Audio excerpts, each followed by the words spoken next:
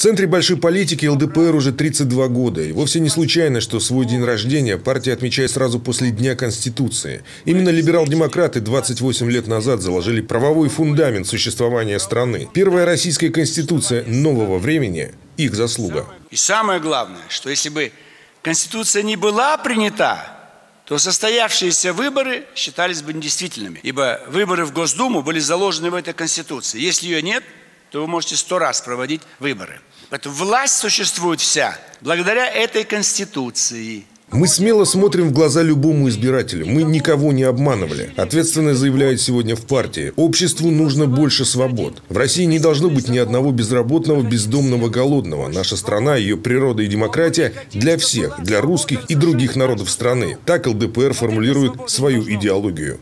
Если бы у нас была власть вместо Единой России, никакой пандемии не было бы в нашей стране.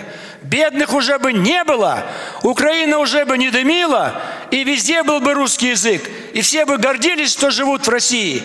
Потому что было бы смелое решение, сильное решение. Инициативы Владимира Жириновского, а также депутатов, сенаторов, активистов и сторонников ЛДПР зачастую значительно опережают общественную мысль, планы правительства и деятельность чиновников. ЛДПР не гадает, а знает, потому что опирается на интересы простых людей. Секрет долголетия ЛДПР в честности с избирателями и стремлении помочь каждому гражданину страны.